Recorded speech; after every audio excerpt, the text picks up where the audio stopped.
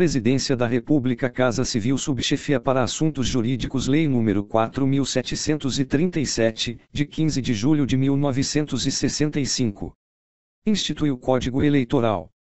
Título I do Tribunal Superior Art 16 compõe-se o Tribunal Superior Eleitoral, e, mediante eleição, pelo voto secreto, a, de três juízes, dentre os ministros do Supremo Tribunal Federal, e b, de dois juízes, dentre os membros do Tribunal Federal de Recursos, segunda, por nomeação do Presidente da República, de dois entre seis advogados de notável saber jurídico e idoneidade moral, indicados pelo Supremo Tribunal Federal.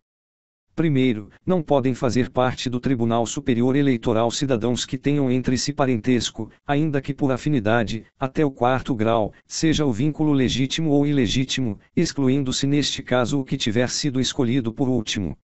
Segundo, a nomeação de que trata o inciso segundo deste artigo não poderá recair em cidadão que ocupe cargo público de que seja admissível a adenutum, que seja diretor, proprietário ou sócio de empresa beneficiada com subvenção, privilégio, isenção ou favor em virtude de contrato com a administração pública, ou que exerça mandato de caráter político, federal, estadual ou municipal.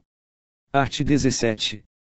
O Tribunal Superior Eleitoral elegerá para seu presidente um dos ministros do Supremo Tribunal Federal, cabendo ao outro a vice-presidência, e para Corregedor-Geral da Justiça Eleitoral um dos seus membros.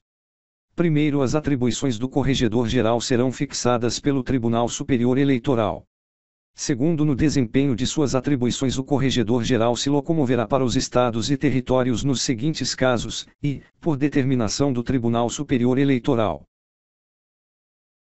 Segunda, a pedido dos tribunais regionais eleitorais. Terceira, a requerimento de partido deferido pelo Tribunal Superior Eleitoral. Quarta, sempre que entender necessário.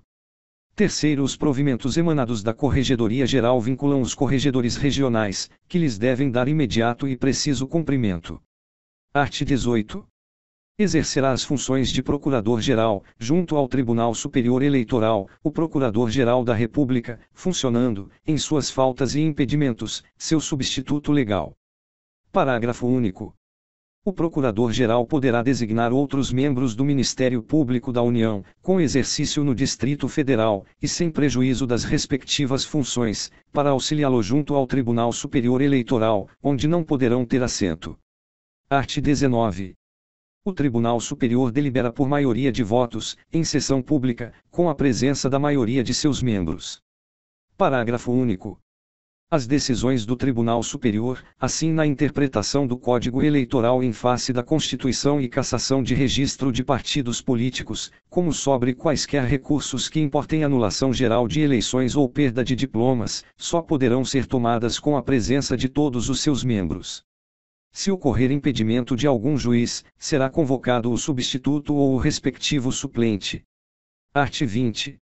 Perante o Tribunal Superior, qualquer interessado poderá arguir a suspeição ou impedimento dos seus membros, do Procurador-Geral ou de funcionários de sua secretaria, nos casos previstos na Lei Processual Civil ou Penal e por motivo de parcialidade partidária, mediante o processo previsto em regimento.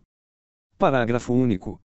Será ilegítima a suspeição quando o recipiente a provocar ou, depois de manifestada a causa, praticar ato que importe a aceitação do arguído.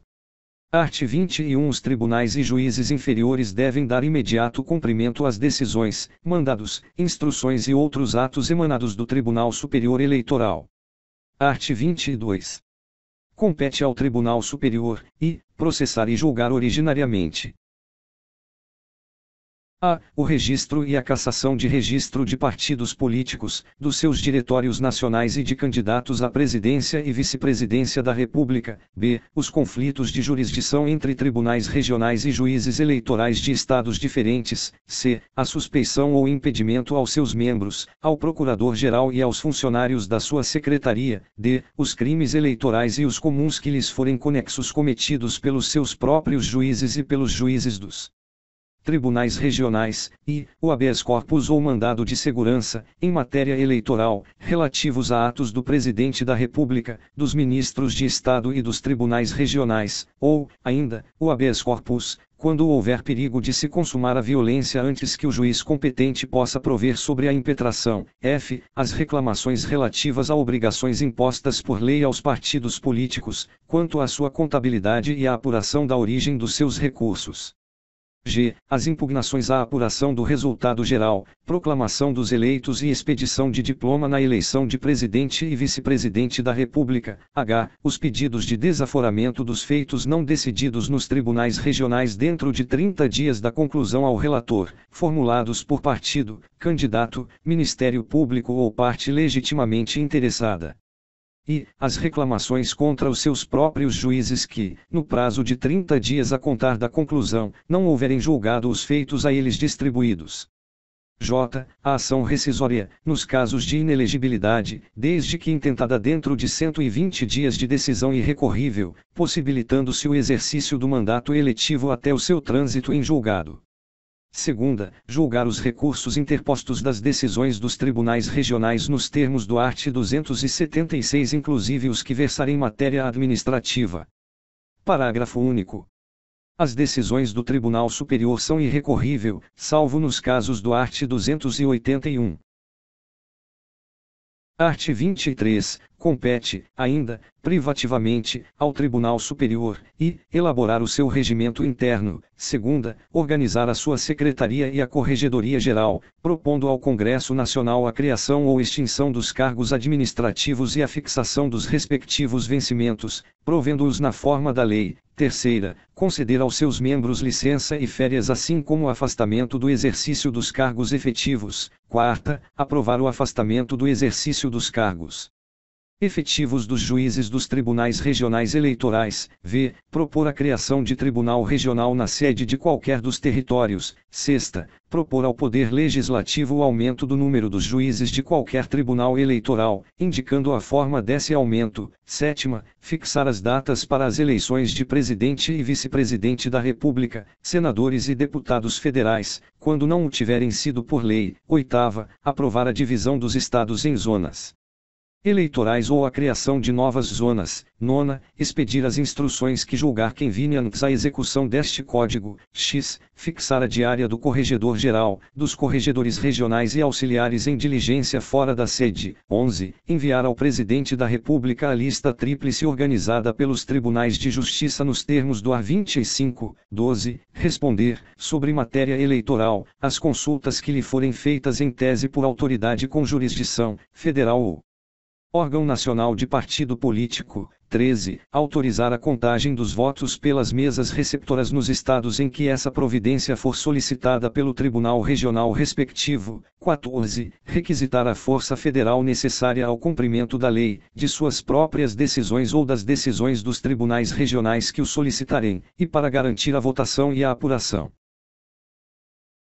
15. Organizar e divulgar a súmula de sua jurisprudência. 16. Requisitar funcionários da União e do Distrito Federal quando exigir o acúmulo ocasional do serviço de sua secretaria. 17. Publicar um boletim eleitoral. 18. Tomar quaisquer outras providências que julgar antes a execução da legislação eleitoral. Art. 23a. A competência normativa regulamentar prevista no parágrafo único do art. 1 e no inciso 9 do caput do art. 23 deste Código restringe-se a matérias especificamente autorizadas em lei, sendo vedado ao Tribunal Superior Eleitoral tratar de matéria relativa à organização dos partidos políticos.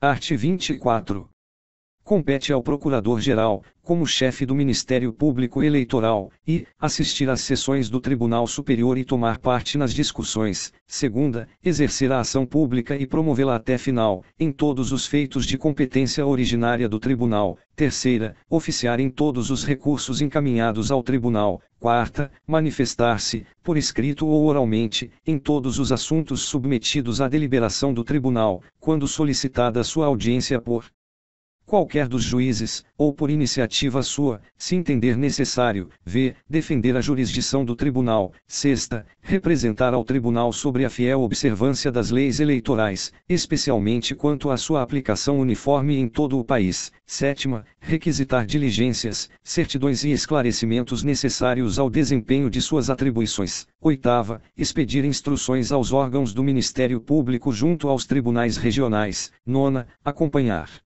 quando solicitado, o Corregedor-Geral, pessoalmente ou por intermédio de procurador que designe, nas diligências a serem realizadas.